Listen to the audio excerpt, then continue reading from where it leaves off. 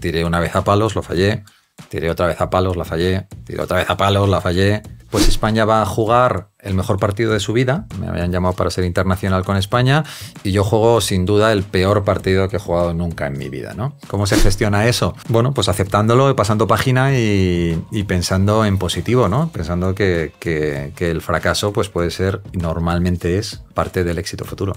Cuanto más mayor eres hasta los 60 años, ¿vale? Más probabilidad de éxito tienes como emprendedor. No hay nada que se compare a ser emprendedor. Vale. En términos de adrenalina, de eh, implicación, de sentimiento, no lo puedes comparar. Estar con todo el riesgo concentrado en una sola apuesta, ¿no?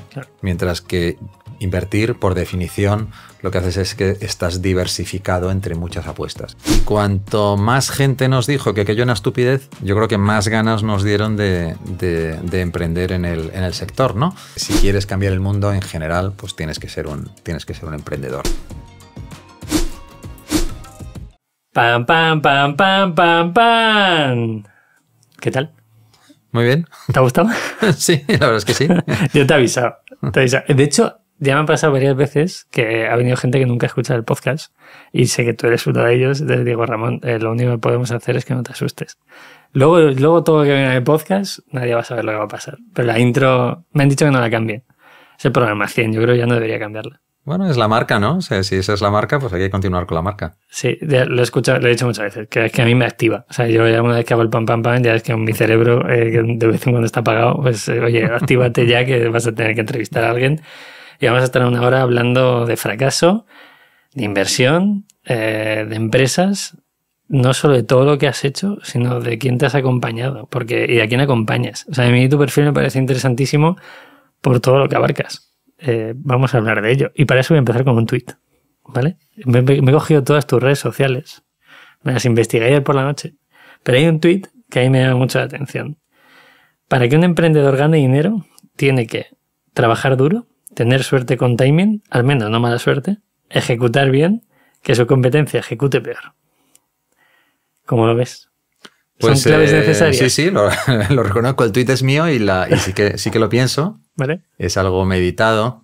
Esto detrás de ello lo que hay es un... No, recuerdo quién lo dijo en Estados Unidos, ¿no? pero es eh, básicamente para que un inversor profesional eh, gane dinero, si tú tienes pues el, típico eje de, de, cuatro cuadrantes, ¿no? tú tienes right wrong, ¿no? Tienes que acertar, aciertas, ¿no? Con tu apuesta o, te has equivocado con la apuesta.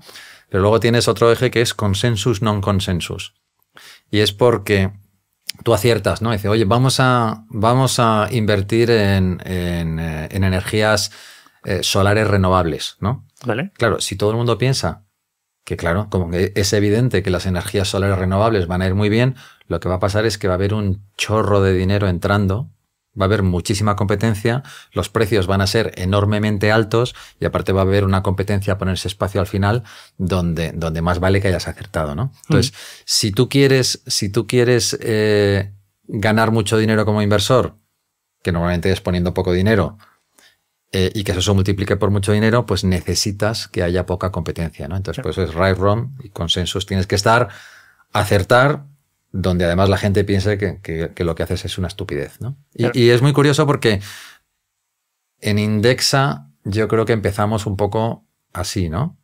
cuando, cuando nos fuimos a, al principio a, levantar eh, pues el, primer dinero, pues empezamos a, a ver inversores y todos nos decían que no Empezamos y teniendo contactos, que vosotros además tenéis. Teníamos muchos contactos, sí, porque además veníamos del sector, ¿no? Eh, nos decían, no, esto es una estupidez, esto se lo va a quedar Vanguard, ¿no? O sea, hacéis lo mismo que Vanguard, Vanguard es mucho más grande, se lo va a quedar Vanguard. No, esto eh, obviamente se lo van a quedar los bancos. Los bancos van a sacar su gestor automatizado y os van a barrer del mapa en cuanto quieran, ¿no?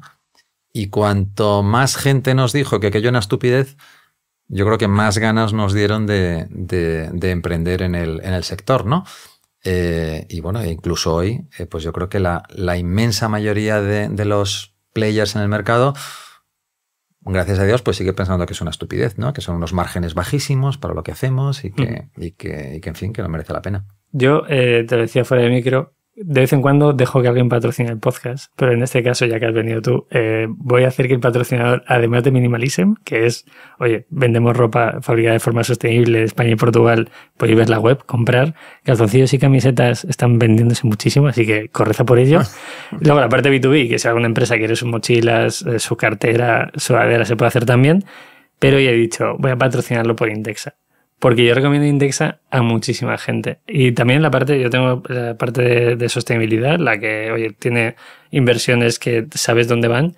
Y cuando alguien me dice, Pepe, tengo un dinerillo que hago, yo digo, toma mi enlace de afiliación a Indexa. Entonces, hoy en la parte de abajo del podcast, el enlace de Indexa es el mío. O sea que si alguien compra, ¿cómo se bajan las comisiones ahí? Eh, bueno, las comisiones es. Eh, hay. hay eh, afiliado era como que era comisiones gratis de intervención hasta los 10.000 euros o algo así. Sí, hasta. Ah, bueno, creo que lo hemos subido a 15.000 recientemente. Hasta 15.000 euros durante un año son comisiones gratis de gestión. O sea que si alguien quiere comisiones gratis de gestión, que pinche en el enlace. Eso es. Que a mí me viene bien tú, tú tendrás 15.000 euros durante un año libres de comisiones de gestión y la persona que abre la cuenta, que es nuevo cliente, también tendrá, gracias a ti, 15.000 euros. Eh, 15.000 euros el primer año de comisiones gratis de gestión. Sí. Qué bueno. Bueno, pues alguien quiere saber qué es Indexa. Vamos a hablar de Indexa, vamos a hablar de Big Water y vamos a hablar de fracaso. Porque Ramón ha sacado un libro hace relativamente poco, hace un par de meses, que yo me he leído y lo bueno es que no solo hablas de tu fracaso, sino que con toda la experiencia que tienes alrededor y con toda la gente que tienes cerca, eh, hablas de fracasos que son reales, ¿no? De, sea de la banca, ya sea como inversores o incluso a nivel deportivo o personal, como es tu caso. ¿Tocamos ese tema a nivel deportivo? Porque yo creo que convivimos, eh, tú y yo tenemos ese enlace de, oye, nos gusta mucho el deporte. ¿Tú, ¿Tú jugaste muchísimos años a rugby? Jugué muchos años al rugby al nivel más profesional que había en esa época, porque yo jugaba, claro, en el, en el, siglo XX. Eh, pero, pero bueno, todavía sigo jugando algún partido. Sí. Sí, de hecho, el, el fin de semana que viene hay un campeonato en Sevilla muy grande, van 3.000 personas de toda Europa, se llama el Egorf. bueno. Y, y, entonces, bueno, hay varias categorías y yo, claro, yo juego en la categoría de, de más de 50, ¿no? Pero nos dais, os dais, las mismas hostias que... Sí, sí, nos damos las mismas, lo que pasa que con 50 años, pues... Eh, pues Al día eh, siguiente te mueves. sí, pues no. no. Vas y ya no vuelves a jugar en seis meses, claro. ya te acuerdas de lo que dolía y decides no jugar más, ¿no? Yo jugué de ala. ¿Jugaste de ala? ¿En qué equipo? Bueno, a ver, esto jugar de ala es muy atrevido decirlo. Yo viví en, Irlanda, en ¿Ah, Limerick, eh, un año de mi vida en Erasmus. Y además de salir de fiesta y aprender inglés, eh, no había fútbol ni había tenis, o jugaba esos deportes. Me dijeron, aquí se juega rugby. Y tú estás delgado, eh, corres rápido, pues te toca ser ala. Y yo digo, bueno, donde menos hostia me den. A ver, no, puede ser. Hablamos de tu fracaso, por, en, el, en el libro hay un capítulo, ¿no? Donde cuentas lo mal que te salió un partido.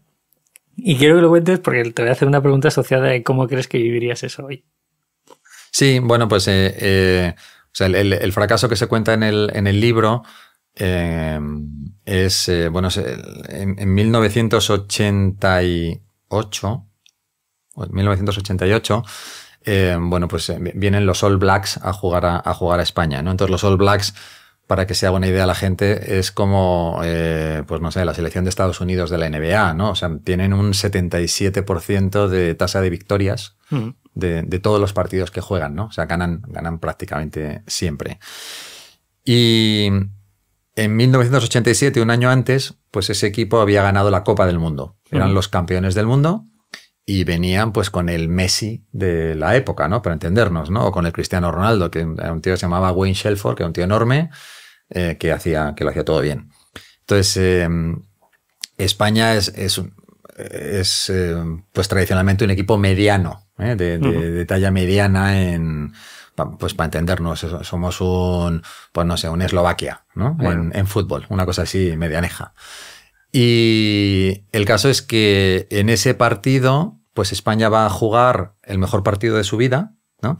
Y yo era el primer partido que jugaba para España, me habían llamado para ser internacional con España, y yo juego sin duda el peor partido que he jugado nunca en mi vida, ¿no? Entonces, en aquella época eh, no había más que dos televisiones. Estaba la 1 eh, y, la 2, ¿no? ¿no? No había... Si los, si los, oyentes son muy jóvenes, pues no sabrán que no había ni Antena 3, ni Telecinco, ni Canal Plus, ni Netflix, ni, ni, Spotify, ni nada, ¿no? No existía nada. Eso lo que quiere decir es que todo el mundo que le gustaba el rugby o que, o que tenía un amigo que le gustaba el rugby o que había jugado al rugby, pero también todo el mundo que estaba aburrido en casa y que no tenía nada mejor que hacer, pues, pues estaba viendo la televisión a las, a las 5 de la tarde, ¿no? Entonces, ese partido tiene la mayor audiencia de un partido de rugby de la historia de, de la historia de España. Actual también. O sea, sí, sí, incluso, incluso hoy, sí, porque por allí todo el que pasaba y en vez de. y, no le gustaba la película de vaqueros, pues se ponía a ver el rugby, ¿no? No había más.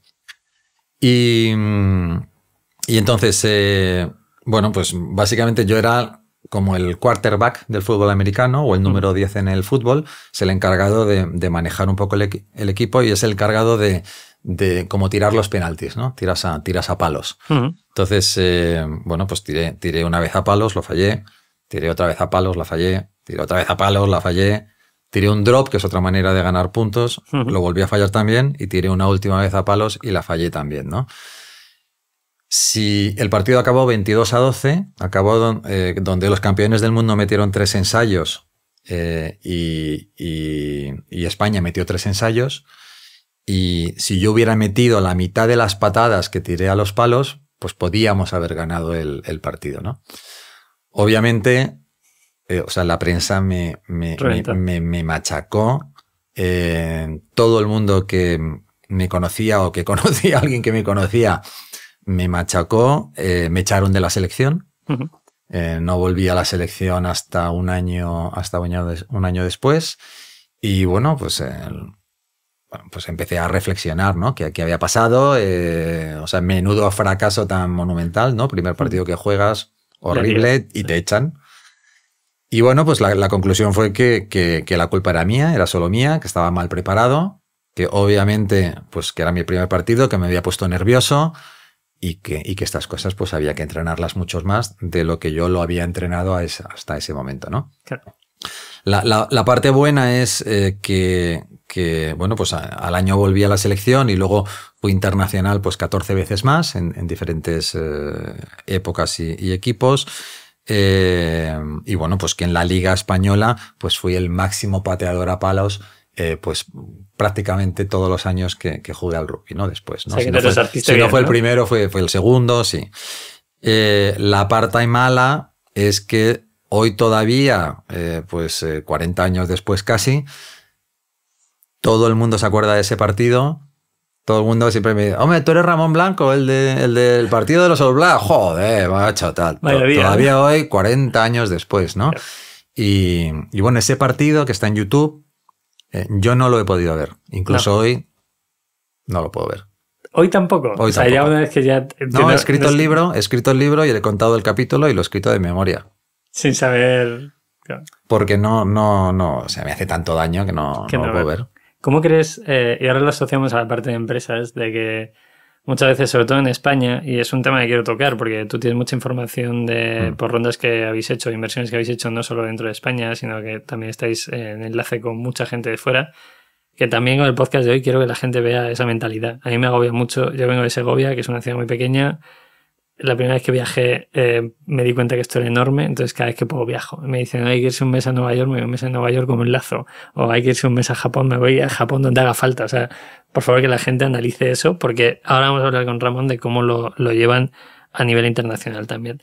Si en ese momento hubiera habido redes sociales y asociándolo con cómo gestionamos el fracaso cuando un emprendedor o emprendedora falla en España, que ahora todo el mundo eh, se le dan palos por todo, ¿Cómo crees que lo habría gestionado y cómo crees que se gestiona el fracaso dentro de las empresas cuando en Twitter alguien eh, la lía o le va mal y ya en España te cierran la puerta de determinadas cosas? Pues, eh, pues, eh, pues, pues no sé cómo lo hubiera gestionado. Imagino que mal. Mm. desde luego las redes sociales lo que hacen es que amplifican, en este caso, el fracaso de una manera espectacular. Y luego en España tenemos nos encanta, ¿no? Pegarle palos a la persona que ha fracasado, ¿no? De, por eso se habla tan, tan poco del, fracaso. ayer estaba mirando en, internet por otro, por otro tema, eh, para, que, para que se hagan una idea los oyentes de lo que hablamos del fracaso en España. Eh, busqué la palabra failure en, Google y salían 3.700 millones de entradas. 3.700 millones. Busqué la palabra fracaso en español y salían 77 millones. La diferencia de 77 a 3700. ¿no? Y entonces, ¿cómo, ¿cómo gestionas algo que se amplifica tanto en redes sociales? Bueno, pues, pues, eh, pues de mala manera, ¿no? Pero, pero obviamente puedes acabar con depresión, puedes acabar pues en, negacionismo ¿no? de, lo que ha pasado eh, y puedes acabar con un problema reputacional. ¿Cómo se gestiona eso? Bueno, pues aceptándolo, pasando página y, pensando en positivo, ¿no? Pensando que, el fracaso pues puede ser, normalmente es, eh, parte del éxito futuro. Totalmente. Vosotros cuando invertís, ya sea desde Big Water o no sé si a nivel personal vosotros seguís invirtiendo o habéis hecho el, el fondo, ¿tenéis en cuenta los fracasos previos como algo positivo o como algo negativo? Porque o sea, yo en, Estados Unidos cuando hablo con inversores eh, siempre me piden tras récord, ¿no? Y en eso que nosotros no queremos inversión, que ya lo he dicho varias veces, pero es como, oye, a mí me gusta hablar con gente, me gusta explicarle minimalism, me gusta explicar lo que hago, ¿no? Y es como, porque nunca se sabe cómo va a la cosa, ¿no? Y en Estados Unidos siempre te preguntan, oye, ¿qué has hecho? Y yo, no, yo tuve una agencia y me aburrí, eh, pero me era rentable, luego monté Minimalism, monté otras marcas, me quedé con Minimalism porque era que funcionaba. Entonces, ¿vosotros tenéis en estima que la gente pruebe y fracase? O es algo que es un blocker, a no ser que sea una crisis reputacional, como estabas comentando. ¿no? Sí, o sea, en general, a no ser que sea una crisis reputacional eh, e, incluso, e incluso con crisis reputacional, depende de cómo lo expliques, eh, el fracaso, desde el punto de vista del inversor, eh, debería ser positivo, ¿no? O sea, la, estadísticamente, el emprendedor que más éxito va a tener ¿vale? es el que ya tuvo éxito anteriormente. Eh, éxito definido como una venta de la empresa positiva o una salida a bolsa. El segundo emprendedor que más éxito va a tener es el que ha fracasado antes. ¿vale? Tiene más probabilidad de éxito que el que, el que es emprendedor por primera vez. Y, eso es pues porque, porque has aprendido y esos errores no se te van a olvidar nunca en la vida y lo normal, si no eres muy burro, es que no, es que no los repitas, ¿no? Em, así que sí, sí que los, sí que los tenemos en cuenta y sí que los, y sí que los valoramos. Hay un punto ahí que te estaba escuchando y digo, eh, claro, el emprendedor o emprendedora que haya llegado y haya vendido una salida a bolsa o le haya ido bien su empresa, em, tiene muchos contactos, ¿no? Y, para mí el tema de los negocios al final es a quién puedes llamar cuando pasa algo malo, ¿no? Eh, nosotros estuvimos en Lanzadera y Juan Roch eh, dijo, yo no tengo socios, pero tengo muchos amigos. Y cuando tenía una duda de algo, pues mandaba un, mail o llamaba a, alguien del Grupo Santander, a Botín o lo que sea. Y nosotros decíamos, yo hago lo mismo, llamo a Nacho Blue Banana o a Juan Edmond y le pregunto cositas. O a alguien del sector que me pueda ayudar. ¿Tú crees que ese éxito también va influenciado por los contactos o no tiene por qué ser? A ver, yo te, doy el dato, o sea, lo que leemos en, los, en las noticias, ¿no? en los medios de comunicación es, pues, pues pero, pero, sale porque precisamente porque es raro, es el tío de 20 años, eh, Zuckerberg, ¿no? Con, con, Facebook, ¿no? Eso es lo que sale en los medios. tío de 25 años que lo ha petado, que ha vendido una empresa por miles de millones, eh, pues por, básicamente porque estaba en el sitio adecuado, en el momento adecuado y le vino a ver la Virgen, ¿no? Eh, pero eso no es lo normal, ¿no? Lo normal es cuanto más mayor eres hasta los 60 años, ¿vale? Más probabilidad de éxito tienes como emprendedor. ¿Vale? Y eso obviamente es porque, pues, primero porque tú ya puedes poner un poco de dinero. Segundo, porque las personas con las que hablan ya tienen un poco de dinero. Pero tercero también porque has acumulado una serie de experiencias y contactos que hacen que tu emprendimiento vaya a ser más, más probablemente exitoso. Por lo que, lo que acabas de decir, ¿no? Y a quién llamo eh, pues ya conoces a Nacho de Blue Banana, pero si tienes 20 eh, años, pues posiblemente no tienes acceso a conocer a, Nacho de Blue Banana. Y aparte tampoco te puedes relacionar con él de la, de la, misma manera. Así que sí, sí que el contexto sí que, sí que influye eh, y, la edad influye. Claro. Ahí hay un punto, y también lo quería traer al podcast de hoy, es datos que he visto que a ti te preocupan y que a mí me preocupan mucho, que es el porcentaje de gente, por ejemplo, que quiere opositar en este país. O gente que no se planea nunca eh, ser autónomo o darse una oportunidad. Yo, el tema de ser autónomo, cuando doy charlas, voy mucho a la universidad, siempre que me invitan, yo digo, daros oportunidades de hacer cosas. ¿Que quieres ser youtuber? Pues ser youtuber. ¿Que quieres tener un podcast? un podcast. ¿Que quieres montarte una marquita o ser carpintero? Pruébalo, porque luego de ahí posiblemente deriva otra cosa que sea totalmente diferente. ¿no? Y recuerdo una charla que di en Ávila que pregunté qué querían ser Y obviamente en Ávila hay una cosa que es la policía eh, local, nacional, etc. Y me impactó mucho e incluso me sentí mal porque mucha gente eh, de 16 años era una feria de empleo pagada por la Cámara de Comercio de Ávila que mucha gente quería ser eh, directamente funcionario sin, con 16 años. O sea, lo tengo muy mm. claro. No quiero decir que una persona no tenga claro que quiere ser policía, que a lo mejor lo ha vivido en casa, ok. Pero ¿qué crees que está fallando para que tanta gente quiera tener esa estabilidad que en España eh, sabemos que todo el mundo, entre comillas, demanda, ¿no? Porque eh, un dato que dijiste el otro día en un podcast es 3 millones de personas están estudiando para ser funcionarios y el año que viene o en dos años se estima que pueden ser 7 millones de personas. ¿Qué está fallando? Bueno, eh... si está fallando algo, que a lo mejor alguien nos escucha y dice, no, Pepe, es que esto queremos que lo controle todo. Eh, bueno, voy a dar algún dato más, porque estos datos me los, me los sé y me gustan, ¿no? O sea, España es el, más o menos el país 15 en términos de, de, PIB, ¿no? Por delante tenemos a México, por detrás Indonesia, ¿no? Ahí, ahí estamos.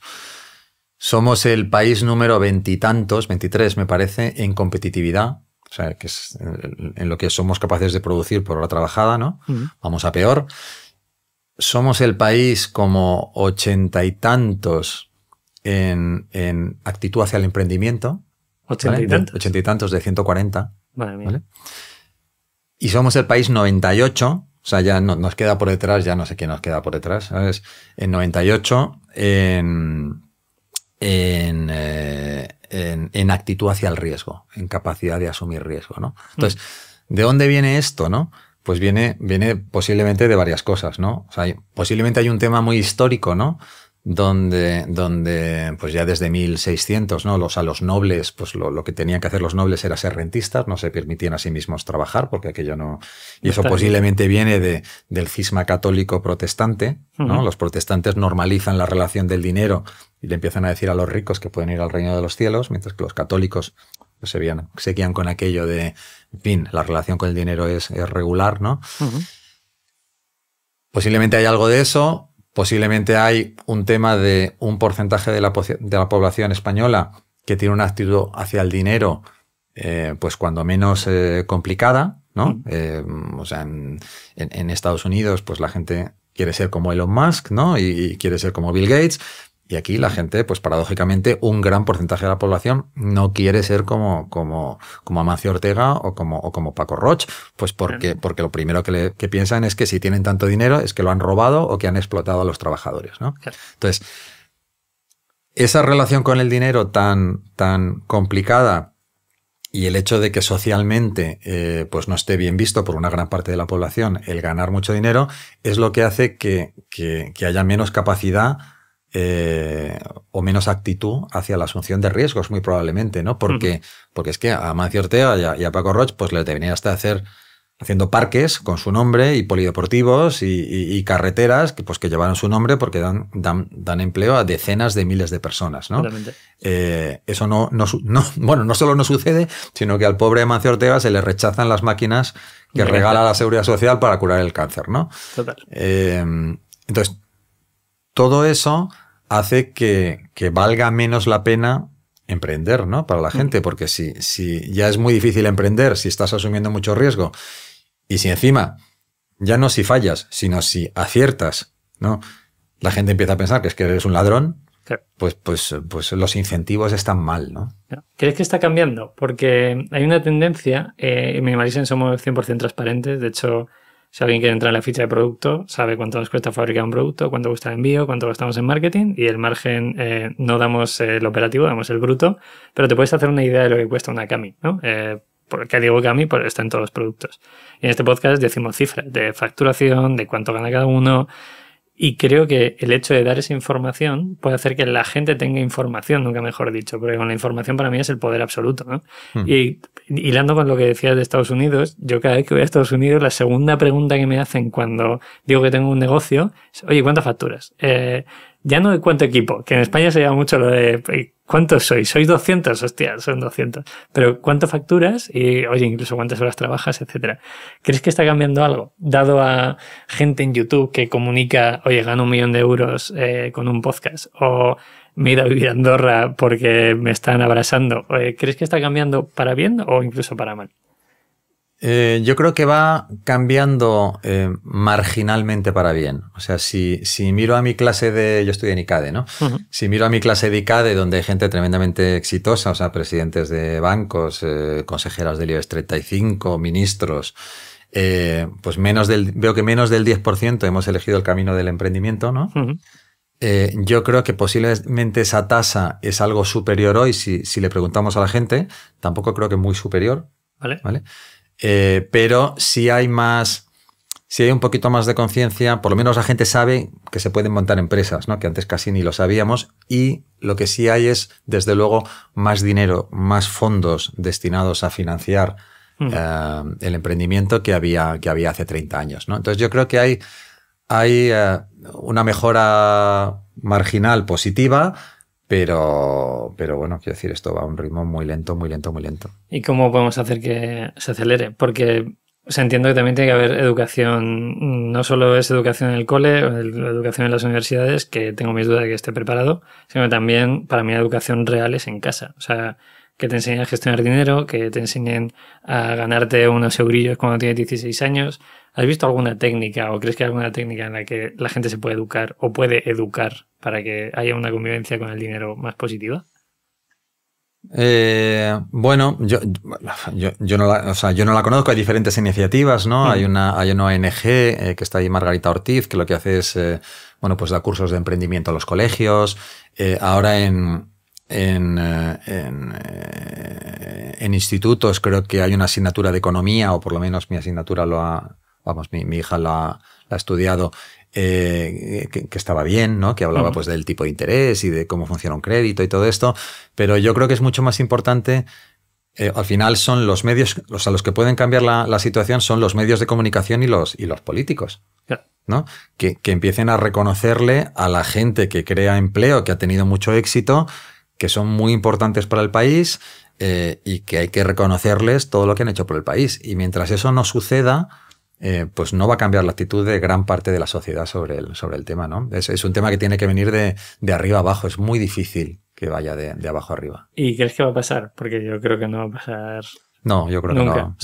yo, creo, que no va a pasar. ¿no? De hecho creo que va al revés, ¿no? Eh, sí, hay muchas ayudas autónomos, pymes, etcétera, de, parte del Estado, pero luego eh, yo tengo amigos que son autónomos que, vale, ok, el primer año pagas 60 euros o pagas 100 pero hay meses que a lo mejor no facturas porque estás empezando, no estás ayudando. O sea, te llena la boca diciendo, no, estoy intentando que, que la gente pueda crear empleo, pero luego las ayudas no son, no son positivas. Incluso cuando cosas que son lícitas, que yo no comparto y no, yo no haría, que es, oye, me voy de este país porque me están abrazando, haces una política totalmente, eh, no sé, intentando apretar al máximo para que esa persona que se quiere ir porque no está de acuerdo con lo que está viviendo en este país, le aprietas tanto para que no se pueda ir y no se pueda llevar su empresa, por ejemplo. Entonces yo tengo mis dudas de que eso vaya a pasar en algún momento. Bueno, los datos, los datos no son buenos. Eh, hace 20 años o algo menos, el PIB per cápita, gente, no, o sea, no, el PIB per cápita de la Unión Europea ¿vale? y de Estados Unidos era el mismo. Vale. ¿Vale? Hoy eh, creo que hay una diferencia del, del 50% entre el PIB per cápita en Estados Unidos y de la Unión Europea. Y luego, para el que no lo sepa, el PIB, per cápita de España versus el de la Unión Europea, pues dale un descuento, un descuentito también del 10 o 15%. Con lo cual, la situación no va a mejor, sino que va, va a peor. Peor. ¿Qué se te ocurriría? O sea, si, nos centramos en inversión, ¿no? Vosotros eh, desde Big Water invertís en, iba a decir en momentos iniciales de empresa, pero también habéis mm. entrado en, momentos que ya la empresa está cogiendo una facturación, va en crecimiento. ¿Cómo hacéis esa ayuda al empresario o empresaria o emprendedor para que siga potenciando su negocio? Porque con Big Water lo que buscáis es el desarrollo futuro. O sea, no es, no quiero vender en dos años, sino, no quiero una rentabilidad loca, sino que lo que quiero es, oye, te voy a intentar ayudar para que en 10 años tu negocio siga funcionando, creemos empleo entre todos y tú sigas trabajando. Eso es. Bigwater es, eh, tiene una tesis de inversión un poco, un poco diferente de la mayoría de los fondos de capital riesgo. Entonces, eh, para el que no lo conozca, que no lo conocerá casi nadie, eh, lo que hacemos es invertimos en compañías que tienen cash flow positivo o la caja para llegar al cash flow positivo, o sea, no están en etapas tan iniciales. son compañías que crecen en ventas, que tienen algún tipo de exposición a la, tecnología, que puede ser simplemente vender las, las camisetas a través de, de Internet. Eh, y, solemos hacer sobre todo secundarios. Secundarios es dar liquidez a los, a los emprendedores que quieren diversificar su riesgo o a los inversores que quieren recuperar su, capital, ¿no? Y, entonces lo que hacemos es que acompañamos, nosotros siempre tomamos participaciones minoritarias y lo que hacemos es que acompañamos al, emprendedor en sus, en sus siguientes típicamente 10 años. ¿no? Em, los emprendedores, cuando empezamos a montar empresas, eh, pues no tenemos dinero y muchas veces incluso ni nos pagamos el, el sueldo. Y, y para poder continuar, pues 10 años más, pues normalmente lo que tienes que hacer es, o es recomendable vender un poquito de la sociedad, pues te llevas a tu casa 200, 400, 500, un millón de euros, algo que te deje ya tranquilo y que te permita seguir asumiendo riesgo los próximos 10 años, ¿no? Y eso es, a eso es a lo que se dedica Biwater. Y en esa parte de, em, a mí me interesa saber la parte de emprendedor porque eh, tú tienes Indexa, estáis emprendiendo, o sea, mm. va muy bien. Eh, todo el mundo en Twitter puede ver los crecimientos que habéis tenido estos años. Tienes una faceta emprendedor y otra parte inversor. Eh, ¿Te quedas con alguna o has llegado a un punto de una combinación perfecta entre ambas? Bueno, o sea, si eres emprendedor, no hay nada que se compare a ser emprendedor. vale. Eh, en términos de adrenalina, de eh, implicación, de sentimiento, ¿no? Eh, no, no, no, o sea, no, no, no, lo puedes comparar. O sea, emprender es estar con todo el riesgo concentrado en una sola apuesta, ¿no? Mientras que Invertir, por definición, lo que haces es que estás diversificado entre muchas apuestas. Entonces, en términos de riesgo, que al final te lleva a esa adrenalina de, emprender, no hay, no hay, color. Eh, lo que pasa es que eh, invertir tiene mucho menos riesgo. ¿no? Es menos emocionante, pero también tiene mucho, mucho menos riesgo. Entonces, todo, bueno, todo tiene sus cosas buenas y, y malas, ¿no? Pero, también conocéis un montón de gente que está, o sea, de forma egoísta incluso, imagino que tú ya, ¿no? Yo quiero conocer proyectos, oye, pues invierto un poquito y al final estoy rodeada de gente que es brillante en el momento. La, parte más bonita de la inversión es conocer gente que, pues emprendedores como, como tú con Minimalism, ¿no? Pues que, que tiene esa emoción por, por cambiar el mundo, mm. porque al final... Eh, bueno, yo soy de los que cree que, si quieres cambiar el mundo en general, pues tienes que ser un, tienes que ser un emprendedor, ¿no? Tienes muchas más posibilidades de cambiarlo, de tener un impacto fuerte que, trabajando por cuenta ajena. No es que no lo puedas tener por cuenta ajena, pero por cuenta ajena tienes muchos más problemas para, para marcar tú la dirección, ¿no? Y, y entonces la parte más bonita de la inversión es eh, pues que conoces mucha de esta gente que, que, quiere cambiar el mundo y eso pues tiene una energía eh, pues, que, pues que te da energía a ti también, ¿no? Claro. Ese punto eh, de eh, la parte de energía de llevar a 10 años me lleva a la siguiente pregunta y un capítulo de tu libro, que es no todo es montar empresas. Mm. Yo soy fiel defensor del equilibrio. De, a mí me flipa mi negocio. Y voy a decir una cosa que el otro día estaba un sábado dando una charla y yo dije que hay sábados y domingos que trabajo. Y hubo una reacción negativa por gente muy joven del público. En plan, te estás autoexplotando. Y yo diciendo, tío, ahí me flipa lo que hago. También implica que luego un lunes me voy con la bici a las 12 de la mañana y no tengo que rendirle cuentas a nadie, ¿no? Pero me impactó mucho que alguien tan joven mm. eh, pueda definir que el autoexplotado soy yo cuando mucho de mi trabajo es una parte creativa de estar un domingo intentando pensar cómo hacer una campaña de publi en Nueva York. Eh, o sea, vale, ¿cómo tiramos publicidad ahí para que eso capte y a qué precio hay que hacerlo? Y si es trabajo, pero es pensamiento, ¿no? ¿Cómo convivís vosotros esa parte de equilibrio? Ya no solo cómo lo has hecho tú a nivel de empresa, después de tantos años haciendo como empresario, sino eh, cómo lo ves en las invertidas que tenéis en Bewater. Eh, bueno, pues muy, buena pregunta. El equilibrio es muy difícil de, alcanzar, ¿no? Y además muy, muy personal y muy subjetivo. Yo me pasa igual que a ti. O sea, a mí no me cuesta nada. Eh, como me encanta lo que hago, eh, pues, pues a lo mejor estoy un sábado eh, mm, pues eh, leyendo. El mail. eh, sí, leye- leyendo el mail seguro, ¿sabes? Sí. Pero o, o estoy de vacaciones y por las tardes de 5 a 6, pues estoy leyéndome la tesis, o sea, el, el deck de inversión de un emprendedor que me lo ha mandado. Es que no, es que no me cuesta nada, es que me divierte, es que me divierte muchísimo, es que yo casi pagaría por hacer eso, ¿no? Entonces, pues no, no me cuesta, no me cuesta nada.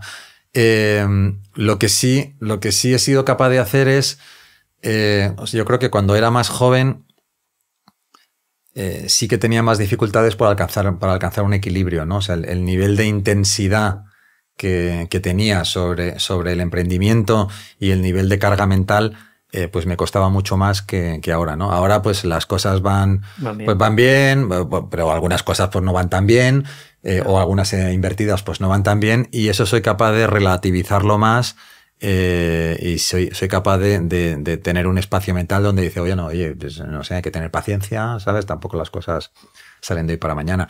Pero es, eh, es difícil alcanzar un equilibrio. O sea, lo normal como emprendedor es que te, te- te- te metas a, a muerte 24 horas al día, ¿no? Claro. Y, ¿Crees que hay otra forma de hacerlo? Hay otra forma de hacerlo. Yo creo que no hay otra forma de hacerlo. ¿Has conocido a alguien eh, de las invertidas que lo haya hecho sin estar 24 horas? ¿O, de tu entorno, que también te rodeas de muchísimo emprendedor. Mm, mm, O sea, que no estés trabajando las 24 horas, por supuesto que no, que los oyentes no piensen que esto, que la gente no se, que los emprendedores no, nos divertimos y, Claro. que, y que no lo pasamos bien y que no hacemos otras cosas. Pero que en el fondo no estés pensando 24 horas en tu negocio. eh, yo no conozco gente que le vaya bien o que le haya ido bien y que en el fondo no esté pensando 24 horas en su negocio porque, porque es que es natural, ¿sabes? Eh, es muy difícil que te vayan bien las cosas si tú no eres el primero que te las crees. Total. ¿no? total. Y, y- y si te las crees, es que piensas que esto, o sea, que, que estás a punto de cambiar el mundo. Claro. ¿sabes? Eso es. Y si no te lo crees, a lo mejor. Y si no te lo crees, no pues la gente que está enfrente tuya es mucho más difícil que te crea. Claro, ese es el punto. Eh, yo aún así creo que se puede llegar al equilibrio, ¿no? De hacer bien Sí, deporte. Yo soy un loco de comer bien, de cuidarme. Eh, en este podcast hemos dicho muchas frases de tipo, esto no es un sprint, esto es una maratón, es, se juega a largo plazo. Y en ese largo plazo muchas veces influye la suerte. Hablamos de la suerte. Sí. ¿Qué, qué, qué punto crees que es clave? El tweet que, en el que pegábamos el podcast, así vamos eh, cerrando el círculo. ¿Hasta qué punto crees que la suerte es clave para que un proyecto funcione? Y puedes llevarlo a la parte personal cuando has lanzado proyectos, que ya sé que alguno no ha ido tan bien por timings, etcétera, o eh, cuando lo haces a nivel de, de inversor. Bueno, la suerte desde luego influye, nunca sabes cuánto, ¿no? Hay una cita en el libro que me gusta, que me gusta mucho, eh, que es la de también la de, de Luis Martín Caviedes, ¿no? Que es un inversor muy conocido de, de tecnología, quizá el mejor inversor con mejores retornos de los últimos 20 años. ¿no? Y dice, eh, respecto a la suerte, me dice, ojo, que, que el que alguien tenga, tenga eh, que, que- que muchas veces, en, o sea, el que tiene más dinero es por, por suerte, ¿no? Hay una cita que, la cita me parece que dice, en la mesa de la ruleta. ¿vale? El que, el que más dinero tiene no es el, el más listo, sino es el que más suerte ha tenido. Exacto. ¿Vale? Entonces, in- inferir de ahí que eso es lo que hay que hacer, pues, eh, oye, mucho, mucho ojo, ¿no? Eh, si tú tienes una agencia de viaje y va fenomenal y llega el COVID, pues eh, mala suerte.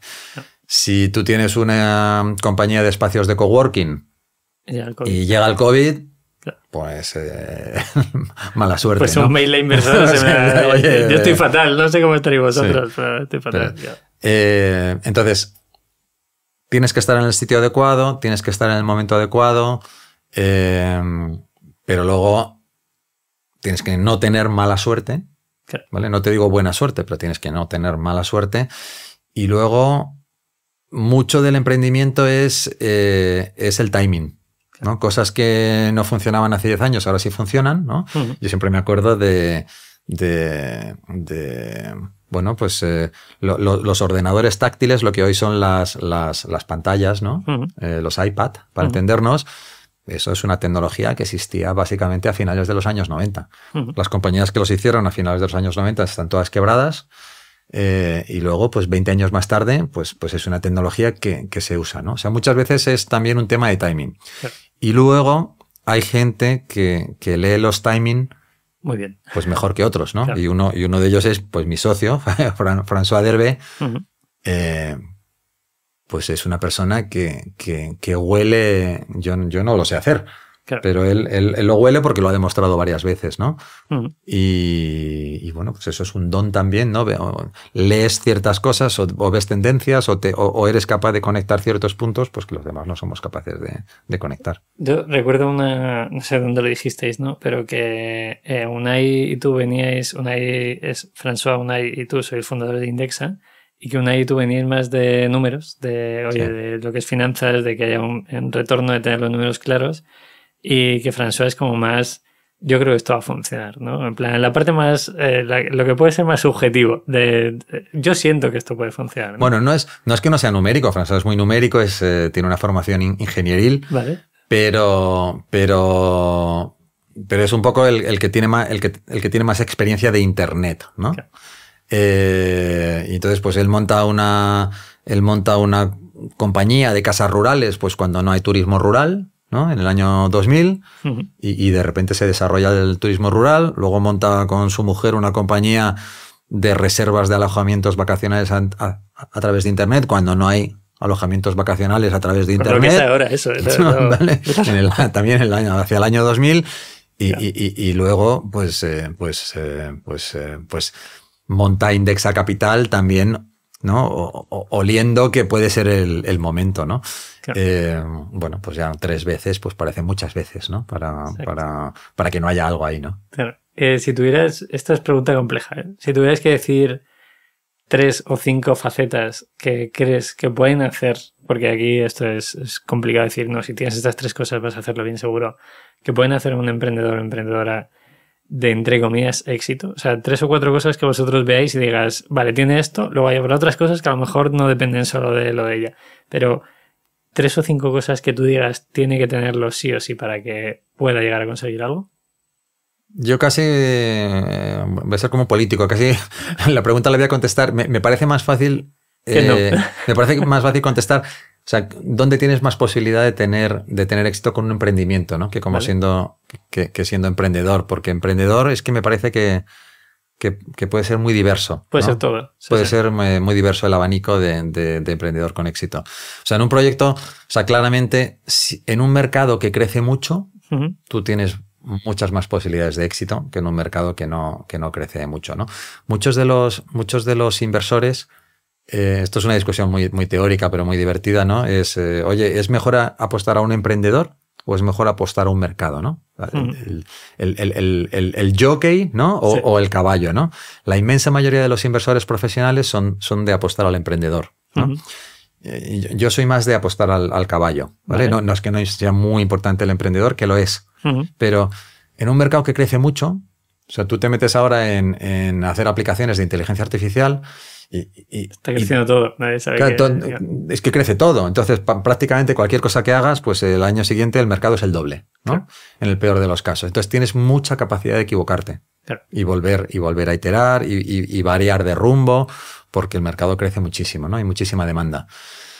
Eh, luego tienes que, o sea, co- como, emprendedor tienes que saber subirte, subirte a esa ola. Entonces, obviamente, cuanto más listo seas, cuanto más formado, cuanto más eh, experiencia hayas tenido ya, más posibilidades tienes de, de, de- de poder variar el rumbo si, si hace falta, ¿no? Entonces, eso te lleva a emprendedores con más, con más, con más formación. ¿no?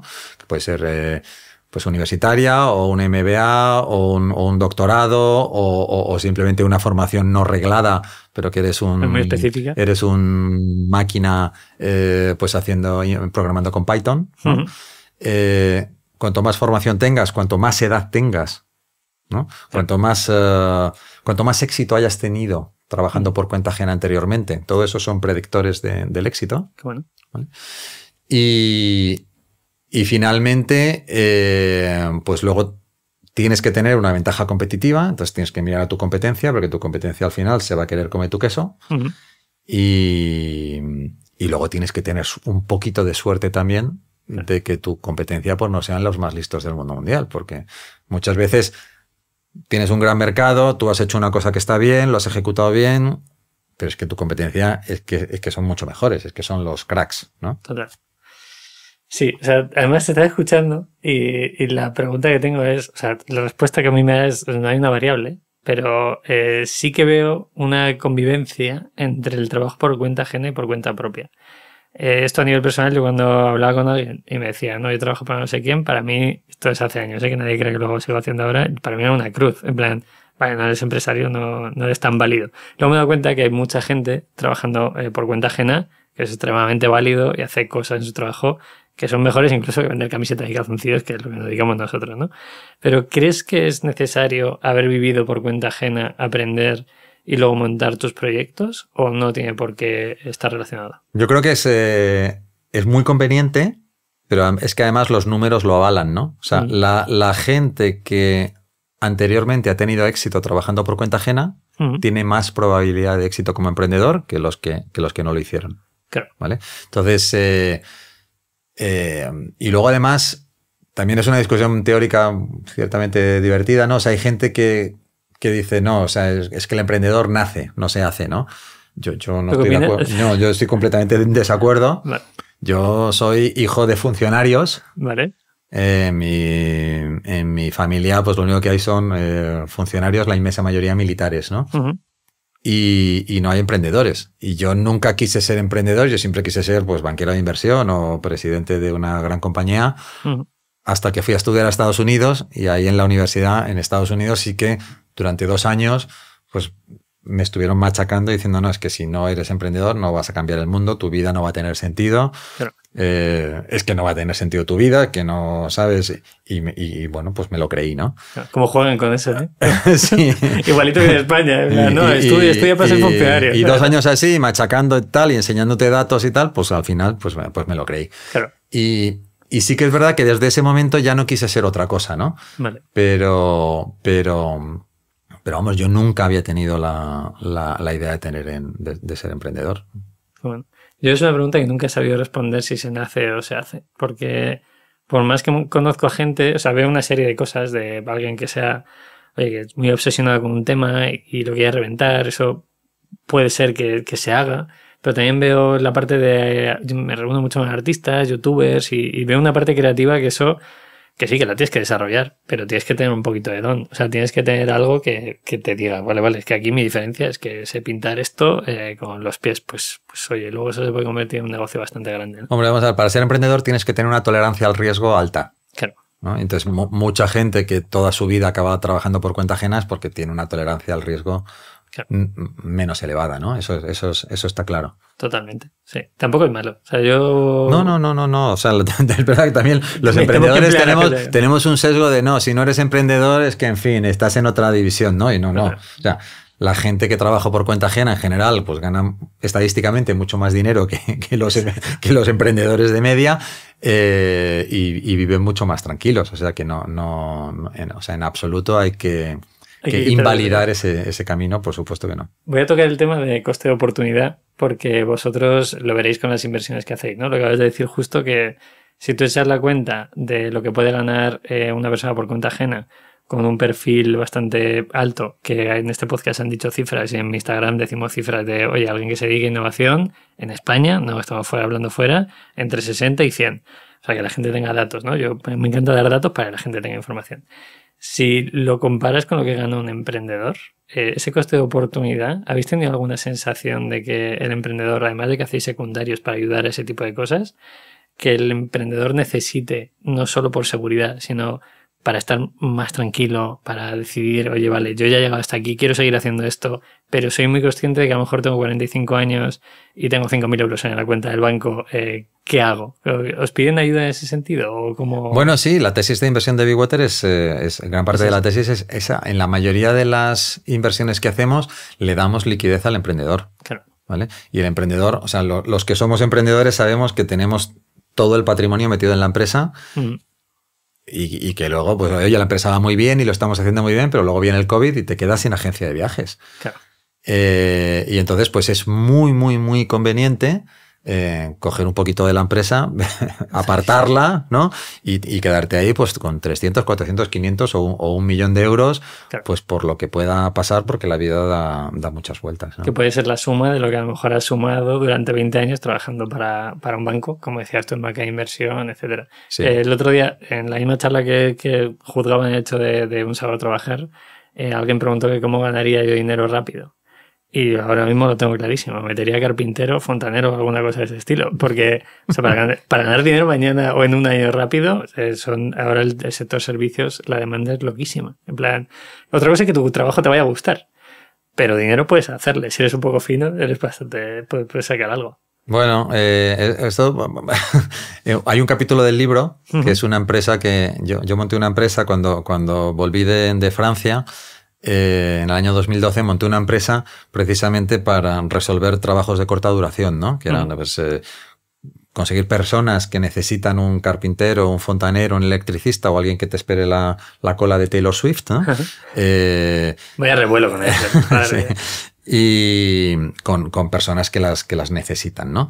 Entonces, Básicamente, eh, pues yo hice un estudio de mercado que, decía que aquello iba a ir fenomenal y que una gran parte de la población española lo necesitaba y es verdad que todavía hoy se necesita. No sabes dónde contratar un carpintero o un electricista bueno, no lo sabes. Eh, y, lo monté, ¿no? Lo, monté y fue, por resumir, fue fatal. Mm. Eh, porque, porque el carpintero paga un 35% de IRPF, luego además tiene que pagar un 21% de IVA es el 56%. Luego además tiene que pasar, pagar un 15% de, de, coste de la plataforma, de comisión de la plataforma, ya es el 71%. Y si eso te lo llevas al, dinero negro, se ponen de acuerdo, pues el señor que lo necesita y el, y el carpintero, pues ese 70% se lo reparten entre los dos, ¿no? Claro. Y, y, no te funcionó. no funcionó. No, no, no, funcionó. Sí, pero no sé por qué he traído este ejemplo, porque has mencionado lo, de ganar dinero rápido, ¿no? Claro, claro. Que, que, que, sí, efectivamente hay una demanda tremenda de ahora mismo de, de servicios porque no hay buenos profesionales. yo cuando eh, veo en YouTube tipo vídeo de hazte ganas 100.000 euros o 10.000 euros en un mes, tal y todos te dicen, eh, monto una marca de ropa, a ver, sí, puedes facturar 10.000 euros, pero una cosa es facturar y otra cosa es, tener, ganar. Claro, es ganar. Eh, o, o metes de dropshipping o criptos o tal, que es las cosas que se dan en YouTube. Mm. Me encantaría que alguien dijera, no, no, ¿quieres ganar en un año? Fórmate como fontanero, carpintero o algo así, haz algo más o menos fino, lo estás ganando seguro. Yo pregunté a mi peluquero cuánto ganaba y me dijo que ganaba entre 6.500 y 8.000 al mes. Qué barbaridad. Y dije, pues mira, eh, a lo mejor me he equivocado. O sea, y, eso, y, lo piensas y dices, mucha responsabilidad tampoco tienes. O sea, cortas el pelo. Eh, que bueno, que la puedes liar, es lo máximo a lo mejor le puedes cortar una oreja a alguien, pero joder, que hay otros negocios que tienen muchísima más responsabilidad o un stock como podemos tener nosotros que tienes 200.000 euros en, en, en algo orgánico ahí puesto, ¿no? Es como, bueno, pues que la gente tenga datos. Esto me lleva a la última pregunta. Eh, ¿Has fracasado y luego te ha ido bien? Em, la duda es, ¿se puede fracasar bien? O sea, si tú dijeras, yo he fracasado así y he visto fracasar a X personas, esta es la forma de hacer las cosas bien eh, para que no eh, haya un impacto en tu vida o en tu futuro eh, nivel profesional. Sí, se, puede fracasar bien. O sea, para fracasar bien lo que tienes que hacer es, bueno, primero mi recomendación es poner un, poner un timing. Oye, yo esto me, pongo con la empresa tres, cuatro, cinco años, pero si esto no funciona, pues esto, esto hay que cerrarlo, ¿no? O sea, yo no, no, no, estoy de acuerdo con esa gente que, que dice el emprendedor tiene que ser resiliente y, y, y seguir y, seguir y al final ya va a llegar. No, eso normalmente lo que ocurre es que pasan diez años y no ha pasado nada, ¿no? Y has tenido un coste de oportunidad muy, muy importante. Yo creo que hay que ponerse un, un plazo para cerrar. Eh, luego, desde luego, no hay que endeudarte nunca personalmente para, para emprender. Eh, puedes endeudar la empresa, puedes perder la empresa, pero si te quedas personalmente con deudas una vez ha desaparecido la empresa, eso te impide montar el siguiente, el siguiente proyecto, ¿no? Entonces es una cosa que no hay que, no hay que hacer. ¿Qué más cosas no hay que hacer? Eh, bueno, hay que salir sin un tema reputacional, ¿no? Al final, si, si dejas sin, sin, sin pagar seis meses a, mil personas, pues es seguro que eso va a salir en todos los periódicos, que va a quedar en Internet y te va a lastrar ¿no? en todos los posibles proyectos futuros que quieras emprender. Y, ¿Y qué más hay que hacer? Bueno, y desde luego eh, hay que cuidar la salud, ¿no? Eh, o sea, la salud es, es un factor higiénico. Si no tienes salud, pues no tienes, no tienes nada más. Y es muy fácil como emprendedor salir pues con una depresión o incluso, o incluso perder la vida, ¿no? O sea, eh, recurrir a, temas más drásticos. Entonces, hay que saber también, hay que racionalizar en un momento y saber que, pues que no es más que un trabajo en el fondo, que no es lo más importante de tu vida, a pesar de que sí lo parece, y que, y que la salud eh, hay que cuidarla. Total. Me gusta terminar el podcast con alguien con tu experiencia diciendo eso. Porque, o sea, está la tendencia del hustle que de Estados Unidos, como que hace. Yo calculo que cuando empecé a consumir mucho YouTube era hace ocho años y todo el mundo estaba con el 80 horas a la semana o tal.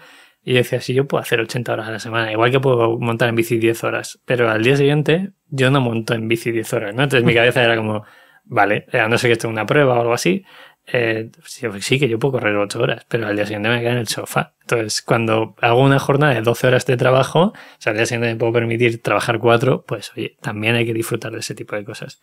Y está bien que lo digáis, porque es como, oye, no, hay momentos en los que vas a tener que ir a un sprint, pero no puedes vivir toda la vida de tu empresa un sprint porque vas a reventar. Así es, y, de hecho, pues mucha gente revienta. Claro. Pues a la gente que ha hasta aquí, se me olvidado decir cuál es el patrocinador B que lo eliges tú, ¿vale? Además de Indexa, Minimalism, ahora hacemos una cosa que es que pueden elegir un producto del catálogo de Minimalism, tienen que utilizar ese producto en los comentarios de YouTube y se lo regalemos, ¿vale? Entonces, si utilizan el Imagínate, tú dices, eh, quiero regalar calzoncillos. Yo luego, te mando los calzoncillos en las camisetas para que pruebes cosas, ¿vale? Pero si tú quieres, oye, el público que nos está escuchando, que pueda elegir un producto del catálogo. Tú lo eliges y ese se le regala. Y ellos tienen que poner en el título, o sea, en el comentario de YouTube, imagínate, calzoncillos, camisetas o lo que sea. Menos mochilas, que es el ticket alto, puedes elegir el que quieras. Te doy a elegir calzoncillos, camisetas, ropa interior de mujer también, obviamente. Eh, funda de portátil, neceser podemos poner también y carteras, si quieres. Pues mira, yo, yo creo que voy a elegir calzoncillos, que es una cosa que, que, que pues que nunca sabes eh, qué calzoncillos comprarte y, si te aprietan o no te aprietan, ¿no? Esto es un tema muy, muy personal, ¿no? Totalmente. Eh, así que nada, sí, sí, calzoncillos. Pues ya sabéis, los que hayáis llegado hasta aquí, eh, si ponéis calzoncillos en la parte de abajo y utilizáis el enlace de Indexa, pues nos va bien para las comisiones para todos ah. y podéis ganar ese, ese producto. ¿Algo más? Pues nada más, el libro, eh, también está en la parte del libro. Que, bueno, pues que el, libro eh, se llama Fracasar para, Fracasar para Avanzar, que está en, en Amazon, que se puede mm. comprar en Amazon, en las dos versiones, en física y en digital, que va a una fundación que es estupenda, creo que ha venido por aquí eh, Pablo. Melchor, que es la Fundación Ayuda Efectiva, que lo que hace es pues destinar el dinero a los proyectos que más vidas salvan por euro, por euro invertido que es espectacular la fundación y que, y bueno, pues que si alguien quiere leer sobre el fracaso y aprender de, mis fracasos y de los de otras personas eh, eh, para no repetirlos, pues que sepa que el dinero va a una muy buena causa. Qué bien, pues con eso cerramos. Eh, gracias por venir. A ti que estás viendo esta parte final del vídeo, está guay que le deis a likes, que suscribáis y que comentéis, pero lo mejor es que cojas el podcast y lo envíes por WhatsApp a alguien que sepas que le va a hacer tilín. ¿Sabes? En plan, mira, aquí habla Ramón de inversión y de cómo buscar el equilibrio. Pues coges podcast y mándaselo. ¿Vale? Nada más. Pues nada, muchísimas gracias. Gracias, Ramón. Chao, chao.